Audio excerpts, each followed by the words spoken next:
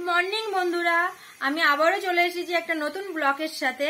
আর সুব্রাস life স্টাইলে সবাইকে স্বাগত জানিয়ে আমি এখান থেকেই আর কি ব্লগটা আজকে স্টার্ট করছি। তো দেখো, আমার পেছন দিকের অবস্থা খুব খারাপ। আমার ছেলে আলমারির থেকে সমস্ত জিনিসপত্র বাইরে বের করে নিয়েছে। সেগুলোকে এখন গোছানো গাছানো হবে। তার আগে একটু আর কি ঝুলটুলগুলো ঝাড়া হয়ে গেছে আর একটু বাকি আছে, সেগুলো ঝাড়াঝুড়ো করে তারপরে এইগুলো গুছানো, আলমারিটা গুছানো গুছাবে ও।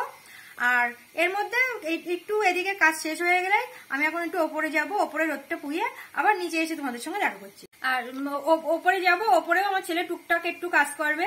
করবে বলতে কি, প্রচুর জোর জবস্তি করে ওর দিয়ে আমি কাজগুলো করিয়ে নিচ্ছি। আর আমার দেখতেই পাচ্ছি যে আমার স্নান হয়ে গেছে, কিন্তু আমি চুলটা বিনুনি করে স্নান করেছি। চুলের গোড়ায় আর কি সবসময় জল ঢুকে যায় তো, এইবার শীতের দিনে তো খুব আর কি একটু অন্যরকম লাগে। স্যাঁতস্যাঁতে ভাব লাগে আর খুব ঠান্ডা ঠান্ডা ভাব লাগে। যার জন্য চুলটা টাইট করে বেঁধে স্নানটা করেছি। আর এখন যাব ওপরে। চলো তোমাদেরকেও আমি ওপরে নিয়ে যাই। আর আমার ছেলেকে দিয়ে কি কি কাজ করাতে পারি সেটাই তোমাদেরকে দেখাচ্ছি।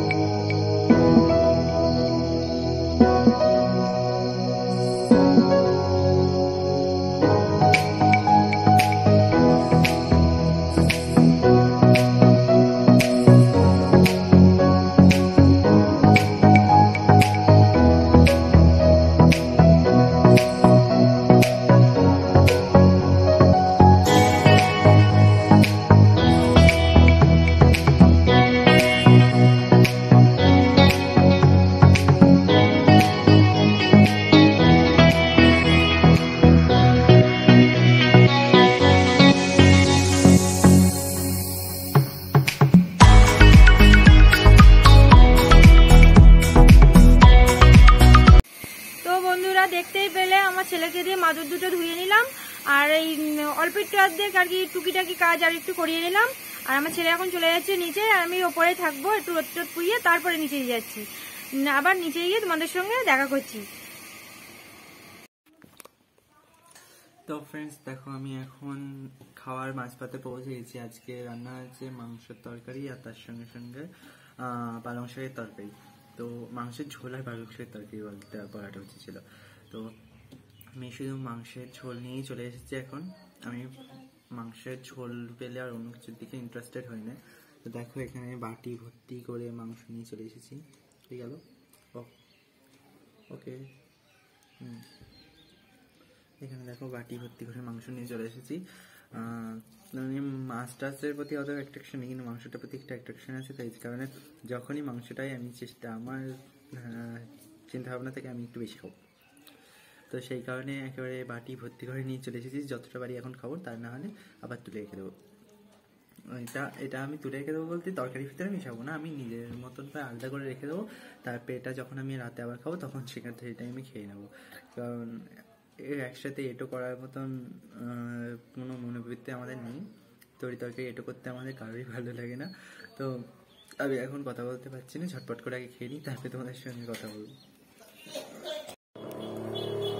তো গুড ইভিনিং ফ্রেন্ডস আর আমি এখন চলে এসেছি মুড়িয়ার চপের সঙ্গে। দেখো হাফ আমি চপ খেয়েও নিয়েছি, তারপরে মনে পড়ছে যে আমি তো কিছু শুট করিনি।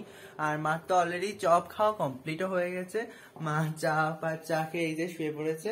আর আমি এখন মুড়িয়ার চপটা খেয়ে নিচ্ছি। খেয়ে নিয়ে আমার একটুখানি কাজ বাকি আছে। সেটা হচ্ছে এই যে ব্যাকগ্রাউন্ডের ঘর বাড়ি তোমাদের বলেছিলাম যে আমি, সবকিছু নামিয়েছি। মা বলেছিল, আমি না। মা বলেছিল যে সবকিছু আমি নামিয়ে রেখেছি। আলমারির থেকে গোছানো হয়নি। সন্ধ্যের পর থেকে কারেন্ট ছিল না, সেই কারণে আমি একদম এদিকে আসিনি এবার সন্ধ্যের পর পর বেশ খানিকটা দেরি করে কারেন্ট এসেছে, তখন ভাবলাম যে চা, মুড়ি টুড়িগুলো আগে খেয়ে নিই, তারপরে একেবারে কাজে লেগে নাহলে কাজ করতে করতে খিদে পেয়ে যাবে তো ফালতু। তাও দেখো খানিকটা আমি গুছিয়েছি, তার ভিতরে আমি কিছুটা গুছিয়ে নিয়েছি। বা ঝটপট করে জাস্ট মুড়ি আর চপটা কমপ্লিট করে আমি ঝটপট করে এখন এগুলো গুছিয়ে নেব, নাহলে প্রচণ্ড বেশি মেস আউট মনে হচ্ছে এই জায়গায়। টেবিলের ওপরটাও দেখতে পারো, ভীষণ হারে জজানো রয়েছে জিনিসপত্র। তো চলো ঝটপট করে এবার খেয়ে নিয়ে ওগুলো গুছিয়ে নিই। তার উপরে আবার আরও কিছুটা জামা কাপড় আছে যেগুলো ভাজ করতে হবে, সেটা হচ্ছে ছাদের উপরে। তো ছাদের উপরে শেডের তলায় রয়েছে বলে আমি নিচে এনে গ্যাদার করিনি। আমি ভাবলাম যে আগে এগুলো পরিষ্কার পরিচ্ছন্ন করে আলমারিতে তুলে দেবো, তারপরে ওগুলো নামাবো। নাহলে এক জায়গায় সব জামা কাপড় হয়ে গেলে সেই জামা কাপড় আবার আমাকে ভাগ ভাগ করে আলাদা করতে হবে, করে তারপরে আবার চার চার জায়গায় রাখতে হবে। তো আমি ভাবলাম যে ঠিক আছে, তাহলে আমি আগের ফাঁকে ওইভাবে না নামিয়ে এখন এইগুলোকে গুছিয়ে নিই, গুছিয়ে নেওয়ার পরে ওগুলোকে নামিয়ে আনব। তো চলো, আর কথা না বাড়িয়ে চটপট করে খেয়ে নিই।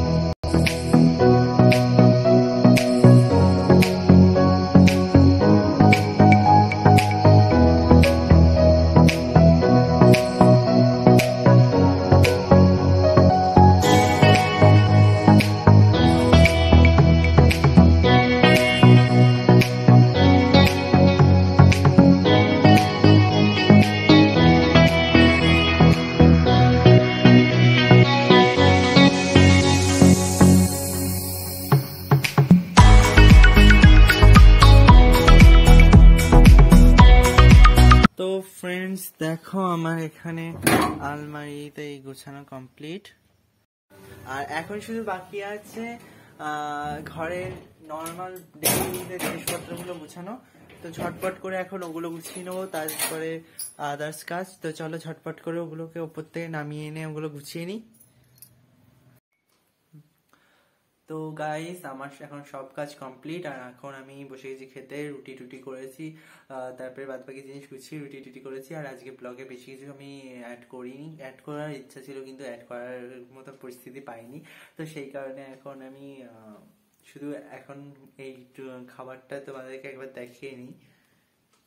তো এই যে আমার রাতের খাবার, রুটি, দুটো মাংস, আর অল্প কটা ভাত আর এখন আমি এগুলো খেয়ে দিয়ে ঘুমিয়ে পড়ব, গুছিয়ে গেছি।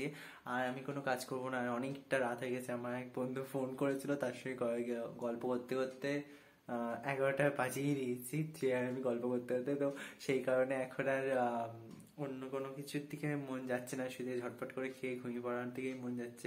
তো আজকে ব্লগটা হয়তো ছোট হবে, ছোটখাটো একটা ব্লগ হবে। তো তোমরা কিছু মনে করো না, কালকে আবার আমি চেষ্টা করব যে সব কিছু তোমাদের সঙ্গে শেয়ার করার সবকিছু তোমাদেরকে দেখানোর। তো আজকের মতন আমি এখানেই ব্লগটা এন্ড করছি। আবার দেখা হচ্ছে তোমাদের সঙ্গে নতুন একটা ব্লগের সাথে।